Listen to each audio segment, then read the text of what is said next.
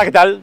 Muy buenos días desde Madrid. Como ustedes pueden comprobar, disfrutamos de un día maravilloso, un poquito nublado, pero perfecto para pasear. Los precios en China están cayendo al ritmo más rápido de los últimos 15 años, una barbaridad. Esto pone claramente de manifiesto que la economía china está sufriendo claramente presiones deflacionistas, que traen su origen en una debilidad del consumo privado doméstico. Por lo tanto, las autoridades económicas chinas, lo quieran o no, van a tener que poner en marcha un plan de estímulo fiscal y un plan de estímulo monetario si no quieren que su economía caiga en las garras de la deflación. La pregunta que nos vamos a hacer hoy es, bueno, ¿y por qué no, no lo hacen ya? ¿Por qué están tardando tanto? En mi opinión, a pesar de todo el espectáculo y el teatrillo que nos montan Estados Unidos y China, aquí existe una coordinación económica. Me explico. Ustedes saben bien que la economía norteamericana está tan fuerte porque Biden ha llevado a cabo un enorme plan de estímulo fiscal, similar en tamaño al que pusieron en marcha tras la Segunda Guerra Mundial, y por eso la economía de los Estados Unidos está tan fuerte. Lo que, en mi opinión, están esperando las autoridades económicas chinas es que ese plan de estímulo fiscal vaya ya diluyendo sus efectos con el paso del tiempo. Y en ese instante, cuando el sistema de la Reserva Federal baje los tipos de interés, cuando la economía de los Estados Unidos se frene, entonces vendrán ellos con su plan de estímulo monetario y fiscal y de esa manera sujetar la economía global. Dicho esto, nos vamos a Estados Unidos. Bueno, bueno, bueno, el dato que se publicó ayer fue espectacular. Y bueno, el sistema de la Reserva Federal publicó el dato de el incremento de los saldos aplazados en las tarjetas de crédito.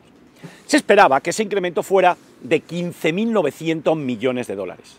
Sin embargo, fue tan solo de 1.590 millones, un 90% menos de lo que se había esperado. Este hecho que revela, bueno, pues revela que en un momento determinado a lo mejor los consumidores norteamericanos se han puesto a razonar. El tipo de interés que están cobrando, según datos del FED, por aplazar los saldos de las tarjetas de crédito está rondando el 21,6%, en media, con lo cual hay gente que pagará más. Por lo tanto, yo lo que creo es que ahora los consumidores norteamericanos se están frenando. Y claro, si el consumidor norteamericano se frena y el consumo en Estados Unidos puede representar, como saben ustedes bien, el 70%, pues muy probablemente la economía de los Estados Unidos también se frenará. Y ahora vamos a hablar del rey. El rey ha vuelto. ¿Quién es el rey? Pues el Bitcoin. Tal y como pueden ver ustedes en este gráfico, observarán que la cotización superó ayer los 44.000 y ya se encuentra en niveles similares a los que tenía antes del lanzamiento de los ETF de Bitcoin al contado. ¿Qué más se puede pedir? Tal y como pueden ver ustedes en el gráfico, superó esa resistencia. Pero ahora bien, fíjense en esta tabla. Nos encontramos que el volumen negociado ayer fue en, en ETFs de Bitcoin, alcanzó o superó los mil millones de dólares. Y si se fijan ustedes, observarán que el ETF de BlackRock registró un volumen de negocio superior al de Grayscale. Aquí está entrando dinero. Pero el dato más relevante, el que yo quiero que ustedes mediten, es que nos hemos encontrado que Fidelity en el ETF conservador ha incluido entre el 1 y el 3% de inversión en Bitcoin al contado. Y nos vamos a encontrar que hay también fondos de pensiones de estos famosos 401k que van a incorporar también el Bitcoin a su cartera. ¿Esto qué, esto, ¿Esto qué supone? Pues sobre que se va a incrementar la demanda de Bitcoin. Tal y como pueden ver ustedes en el gráfico, observarán que superó esa resistencia de 44, ahora está en parada. Importante, nosotros en Opla Finance ya les hemos dicho que es la cartera en la que nosotros invertimos nuestro dinero. El servicio que vamos a ofrecer y aquellas personas que quieran contratarlo van a ver nuestra cartera. El objetivo de nuestra cartera es tener un patrimonio financiero diversificado, pero que nos proporcione una rentabilidad superior al del mercado, pero que nos proteja frente a los gobiernos y los bancos centrales. Tal y como pueden ver ustedes en la línea, ven ustedes que en la cartera de Opla Finance pues tenemos acciones, tenemos cripto, tenemos REIT, es decir, sociedades de inversión inmobiliaria, tenemos materias primas, tenemos efectivo y bonos. Nosotros, en la parte dedicada a cripto, solemos invertir o nuestro objetivo es colocar en torno al 1-2%, no llegar al 3% como va a llegar Fidelity. Y tal y como pueden ver ustedes, yo les he dicho que ya habíamos hecho la primera compra. Tal y como pueden ver ustedes, observarán que en nuestra cartera hicimos la primera compra el 26 de enero de 2024. ¿De acuerdo?